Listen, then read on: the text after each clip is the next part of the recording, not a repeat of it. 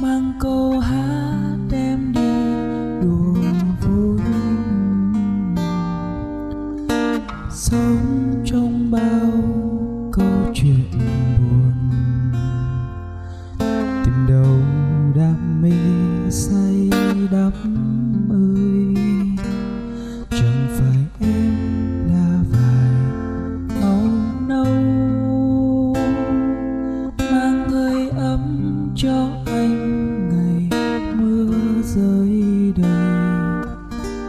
Cuối.